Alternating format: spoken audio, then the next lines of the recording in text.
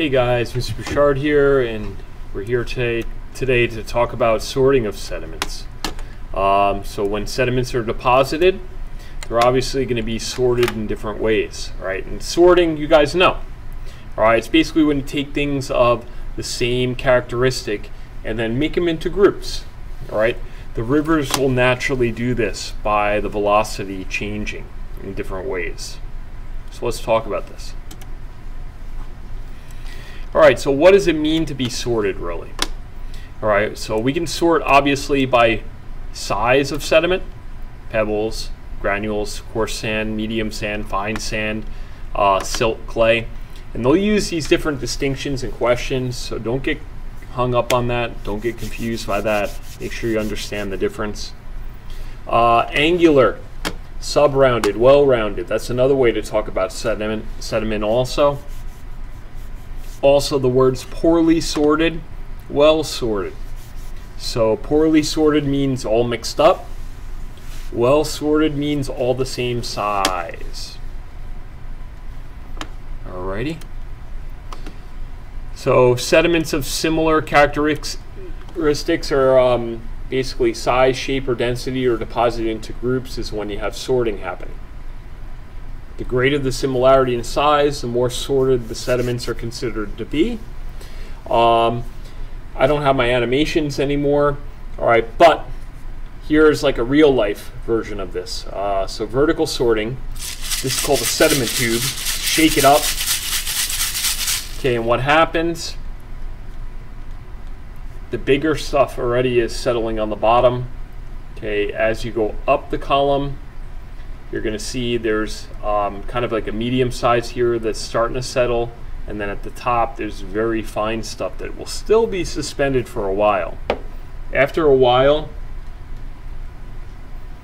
this one's been sitting for a little bit, um, but the more this sits, the more clear this water is going to become because all these little colloids that are up here will eventually settle down on the bottom. All right, so I could show you this days later. Um, it may not fully be settled after days, but it takes some time to happen, right? But that's uh, this type of sorting, the vertical sorting. So where does this happen? Um, so this is, is a type of graded bedding.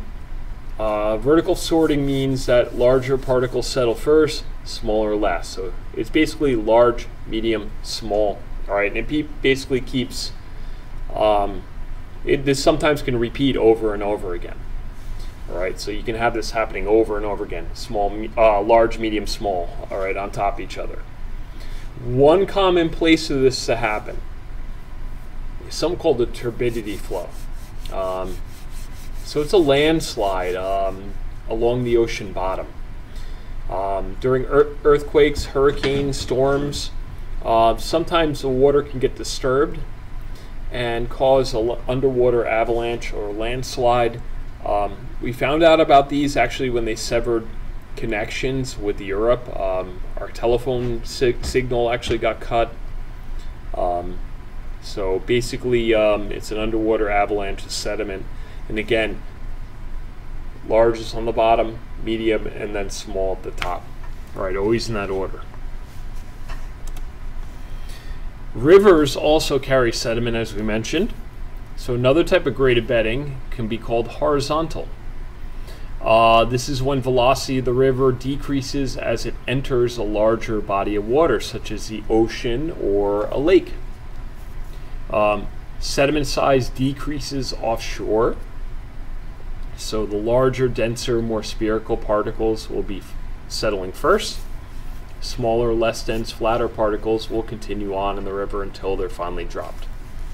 So usually we think se uh, sediment size, so pebbles, sand, silt, clay, all right, going in order of sediment size, all right, and you notice it's horizontal, so sediment size decreases as you go further off the shoreline, okay, and that's sometimes we'll do this uh, from an above view, a map view, Sometimes they'll do it like a side view like this.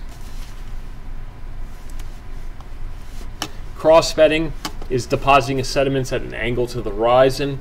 Um, this type of sorting is done on sand dunes because you met, remember I said the wind blows up the uh, gentle slope of the sand dune and then collapse down the other side. All right. So again, angle. Um, it's basically at an angle because of that. Uh, also, you can have crustal movements that leads to cross-bedded uh, rock. All right. So don't forget, rock layers don't get deposited that way. We talked horizontal first, and then crustal movements happen. So don't forget that. So again, up the gentle slope with the wind. That's called the windward side. And then the side where it collapses at a high angle, that's your uh, leeward side of the sand dune. All right, and then we have glacial deposits. Um, sediments of all sizes, shapes, and densities are deposited together, unsorted. So glaciers kind of pick up sediment and drop it in any old way. All right. Um, the name of this unsorted sediment is called till. Um, and in this till, sometimes we can have largest of sediment like boulders. Um, these boulders we know come from somewhere else because they do not match the surrounding bedrock. Okay. Um, drumlins are whale-shaped hills or whale-backed hills. Um, they're oval-shaped mounds of unsorted sediment. Um, so the glacier comes from the side that's higher up. So the glacier actually moves this way. So it kind of like um, drops a lot of sediment at first and then runs out. Drops a lot of sediment at first and then runs out. Um, so it kind of makes, like I said, a series of these usually. And always the big mound is where it came from, and then the smaller side is where it's running out of sediment. Okay, so it's heading this way. It came from that direction. So we can use this to know which way the glacier went through the area actually. Other glacial features uh, we're going to be talking about. So valleys, obviously. Um, there's also continental ice sheets. Um, we're going to go in more into detail about these. Uh, but glaciers definitely are um, a big part of the New York State landscape re region, basically, um, especially Long Island here where we live. All right, so till and erratics, again, uh, glaciers are responsible for this uh, being here. So along our shoreline, we have a lot of these uh, big boulders. Uh, no one put them there; they got carried by the glacier. All right, and that's pretty much it. Um, I'm going to continue the rest of the notes uh, in this PowerPoint uh, with the next set of notes, 10.3 glaciers. All right, thank you guys for tuning in.